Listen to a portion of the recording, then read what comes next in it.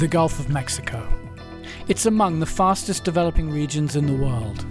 The decisions we make about how we manage this important national resource matter.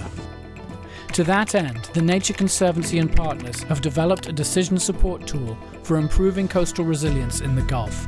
From evaluating the possibilities of restoring oyster reefs in your state or county, to managing their ecological, social, and economic resources, the Coastal Resilience Tool helps planners across the region make the best, most thoughtful decisions possible.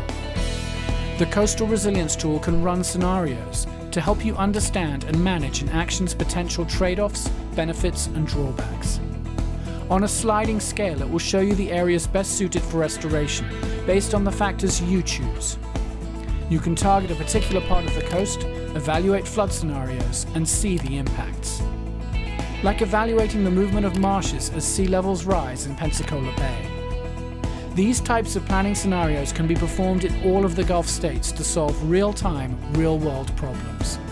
People are using it right now to make decisions across the Gulf. It's a tool that gives planners a decision advantage and puts information at your fingertips. Log on at gulfmex.coastalresilience.org.